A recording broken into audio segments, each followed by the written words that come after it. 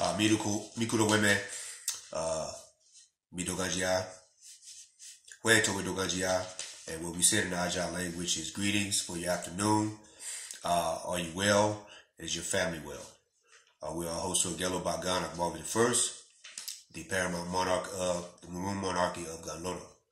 We want to make this real quick video about words of power, um, uh, captivity or captive versus slavery or slave, right? And we want to begin this video telling you really what it's about. We're still evolving as new African people, Africans who are descended of those captive Africans. Uh, awareness is, is increasing. Uh, some of it is a little misguided, but at least something is happening.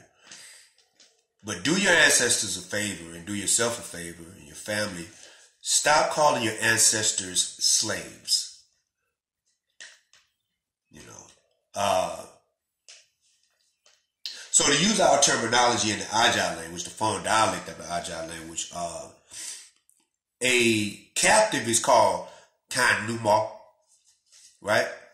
And a slave, because they differentiate, right? Even even like you have the difference between captive captive and slave in, in the English language, but it's not so clear cut in the way they define it. But but a but a slave uh, in our language is called Mahiha, right? The the captivity trade, we would call that Mekanu no more. All right. Or another variant is Mekanu Nino. Uh, and the whole concept of oppression itself is called Mekanu, right? Now, we made this video to uh, notice it said we said words of power, right? And even in English, even though it is a a bastard dialect, it's not even really a language per se.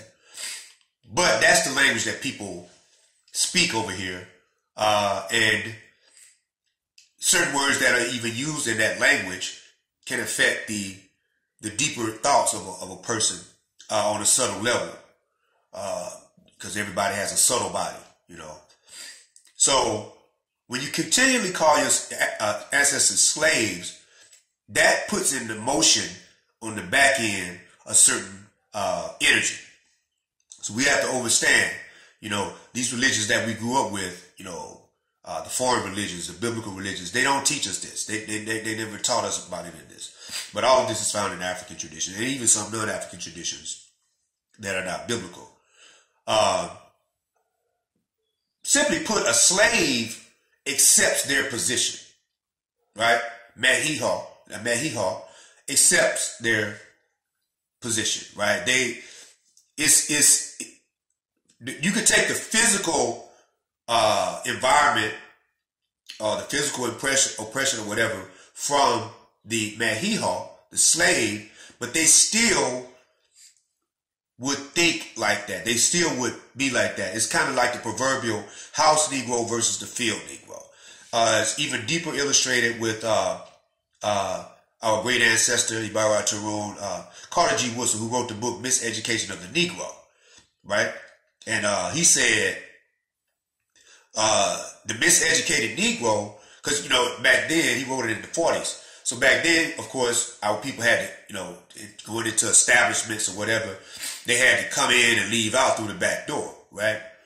And he said the Negro, the Negro, not the African, the Negro will, if there's, he, he will always seek the back door. And if that, he or she will seek the back door.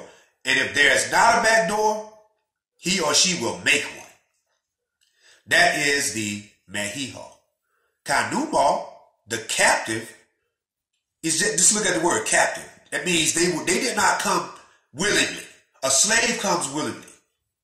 A captive, Kanuma, is fighting from the very beginning all the way to the end, trying to figure out how to get out of this situation. Uh, and that takes us into a little of uh, maroon history. You know, the maroons are those people that escaped captivity or refuse captivity and and created independent uh, villages. I had an ancestor that was uh, part of a Maroon society in the 1830s, 20s and 30s that was up the Tombigbee River. And interestingly enough, that uh, I, we found that out through the culture, through a reading, a spiritual reading.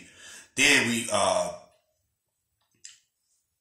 just about three years ago, we read a book of American Maroons or something like that, and it mentions that settlement. You know, so our culture is, is, is no joke. Uh, but the, the, gist of this video is to get us to, to think differently.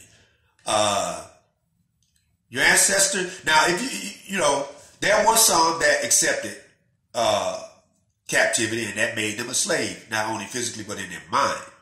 Uh, but the majority of our ancestors uh, were not slaves, because slave slavery is a mentality. Captivity is a physical event that had happened, unfortunately, to a people.